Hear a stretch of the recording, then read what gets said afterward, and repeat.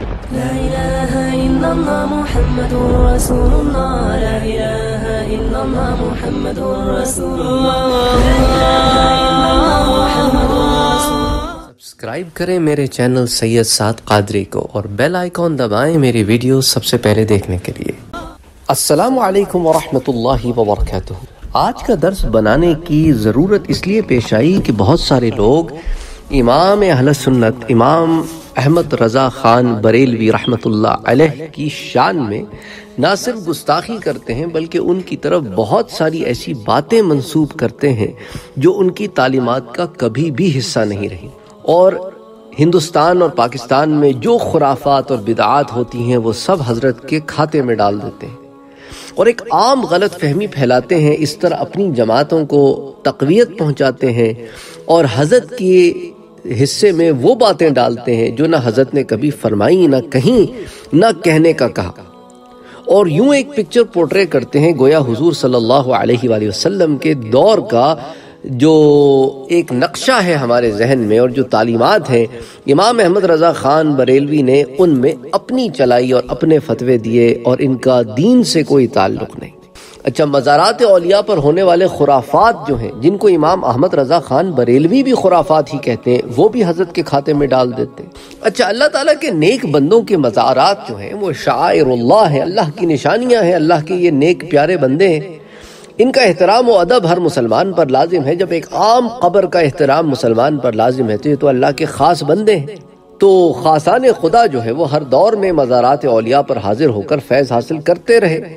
صحابہ کرام رضوان اللہ علیہم اجمعین حضور صلی اللہ علیہ وسلم کے مزار اقدس پر حاضر ہوتے، اس سے فیض حاصل کرتے۔ پھر تابعین صحابہ کرام کے مزارات پر حاضر ہو کر فیض حاصل کرتے۔ پھر تبا تابعین تابعین کے مزار پر حاضر ہو کر فیض حاصل کرتے۔ پھر تبا تابعین اور اولیاء کرام کے مزارات پر آج تک عوام و خواص حاضر ہو کر فیض حاصل کرتے ہیں اور انشاءاللہ یہ سلسلہ قیامت تک جاری رہے گا۔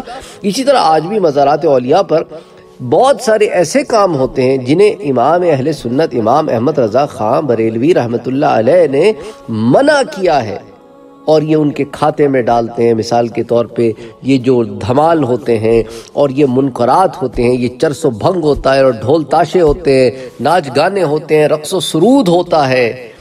ان میں سے کسی بھی چیز کی امام اہل سنت نے اجازت نہیں دی ہے، لیکن یہ سخت خائن لوگ ان کے کھاتے میں اس بات کو ڈالتے ہیں۔ اس بات کو بھی مشہور کرتے ہیں کہ سارے کام جو غلط ہیں، یہ امام احمد رضا خان بریلوی کی تعلیمات ہیں۔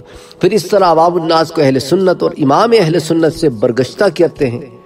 اچھا اگر ہم لوگ امام اہل سنت، احمد رضا خان بریلوی رحمت اللہ علیہ کی کتابوں اور آپ کے فرامین کا مطالعہ کریں تو یہ بات واضح ہو جائے گی کہ اعلیٰ حضرت ان بدعات و منکرات کے سخت خلاف ہیں اور ان کے صد باب اور ان کے ختم کرنے پر آپ کی تعلیمات موجود ہیں۔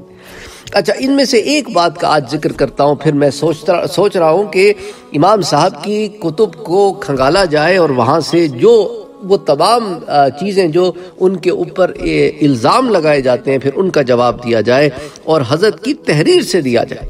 اسی طرح دیکھیں نا، آج بات کرتے جی مزار شریف کو بوسہ دینا اور اس کا طواف کرنا۔ اس کے متعلق امام صاحب کیا کہتے ہیں؟ سجدہ تو بہت بڑی بات ہے۔ سجدہ تو وہ امام صاحب کہتے ہیں، امام محمد رضا خان بریلوی رحمت اللہ علیہ فرماتے ہیں کہ قبر کا سجدہ تعظیماً حرام ہے اور عبادتاً شرک ہے۔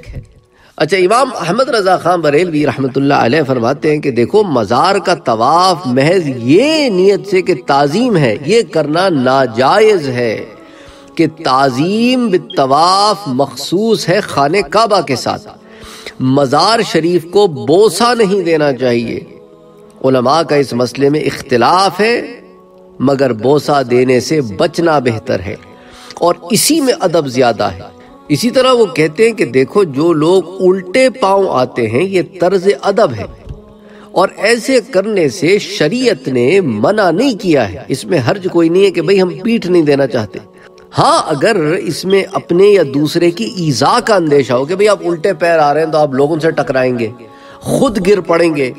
تو امام صاحب کہتے ہیں کہ پھر ایسے احتراز سے بچا یعنی کہ پھر ادب جو ہے وہ پھر خاطر میں ملحوظ جو ہے نا، ادب کے اوپر کانسنٹریٹ نہیں، لوگوں کے اوپر کانسنٹریٹ کیا جائے گا کہ کہیں کسی کو تکلیف نہ ہو، کیونکہ وہ حقوق العباد ہے تو فتاوہ رضویہ کی جلد نمبر چار، صفحہ نمبر آٹھ پر بڑی تفصیل سے حضرت نے اس بارے میں بات کی ہے کہ مدار شریف کو نہ بوسہ دیا جائے گا اور نہ طواف کیا جائے گا۔ اور جو الٹے پاؤں آنے کے لیے جو ادبن کام ہوتا ہے، وہ بھی اسی صورت میں کیا جائے گا کہ اگر کہ بھئی ہم پیٹھ نہ ہو کہ بھئی شریعت میں اس کی اجازت ہے، لیکن یہ کوئی لازم و ملزوم کام نہیں ہے۔ اور اگر یہ کسی کی تکلیف کا باعث بنتا ہے، تو یہ بھی نہیں کیا جائے گا۔ اسی طرح امام اہل سنت ارشاد فرماتے ہیں کہ روزہ مبارک کا طواف نہ کرو، نہ سجدہ کرو، نہ اتنا جھکو کہ رکو کے برابر ہو۔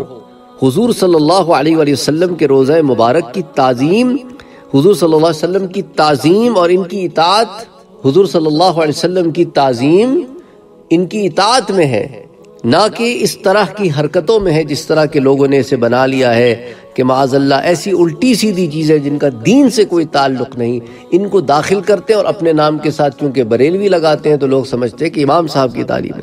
اور امام صاحب نے ایسا کرنے سے منع کیا، انہوں نے کہا ہے کہ حضور کی تعظیم حضور کی اطاعت میں ہے۔ یہ روزے انور کے آگے طواف کرنا، سجدے کرنا رکو برابر جھکنا، یہ سب منع ہے شریعت میں۔ یہ فتاوہ رضویہ میں جلد نمبر دس صفحہ سیون سکسٹی نائن۔ تو معلوم ہوا کہ مزارات پر سجدے کرنے والے لوگ جوہلا میں سے ہیں اور جوہلا کی حرکت کو تمام اہل سنت پر ڈالنا سراسر خیانت ہے اور امام احمد رضا خان بریلوی کی تعلیمات کے خلاف ہے۔